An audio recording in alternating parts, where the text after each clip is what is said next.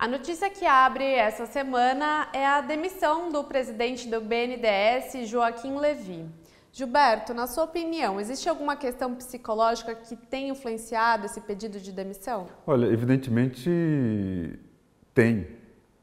Muita gente pode achar que é exagerado, mas eu tenho dito aqui por várias vezes que o presidente tem demonstrado de forma clara que ele sofre sintomas de síndrome de paranoia, que é uma coisa que é diagnosticada. O que é síndrome de paranoia? A pessoa que acha que tem inimigo contelado, inventa inimigo, se entrega uh, a teorias de, da conspiração. Não é só ele, ele, o filho Carlos, o guru Olavo de Carvalho.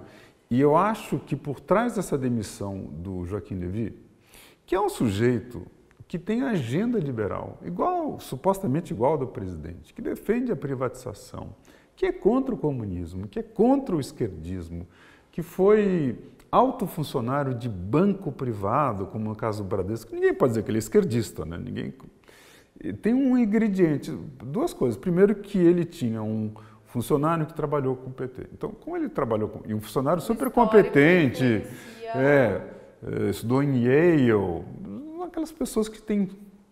Então, o fato de trabalhar com o PT já estimula a ideia no Bolsonaro de que tem um complô um ali, um inimigo. Porque ele adora criar inimigos, né? Você vê que agora ele quer que o Adélio, o bispo, seja seja expressão de um complô de esquerda tal. Então você vê que tem uma, um grau de desequilíbrio. Então ele tinha um funcionário de altíssima qualidade, que era um diretor, trabalhou com o PT. O próprio Levi trabalhou com o PT. Então, essa ideia de ter trabalhado com o PT, a pessoa pode ter descoberto a cura do câncer, mas já fica sob suspeita, que é um absurdo, porque tem pessoas que podem ter seu partido, mas serviu o Brasil.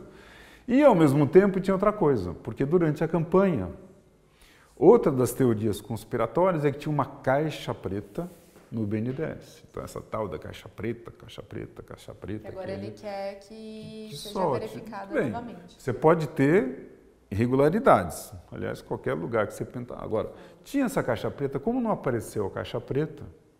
Qual foi a tradução do Bolsonaro?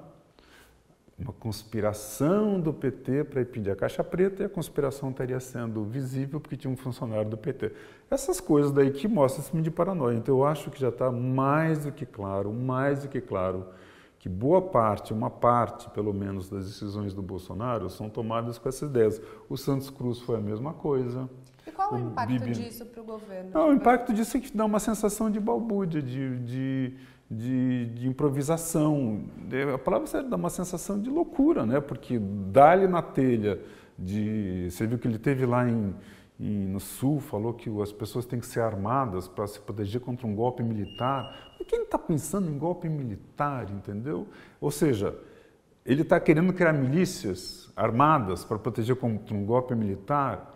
Você vê que a cabeça dele funciona num plano que só diagnosticando do ponto de vista psicológico e do ponto de vista racional, eu pelo menos não tenho explicação.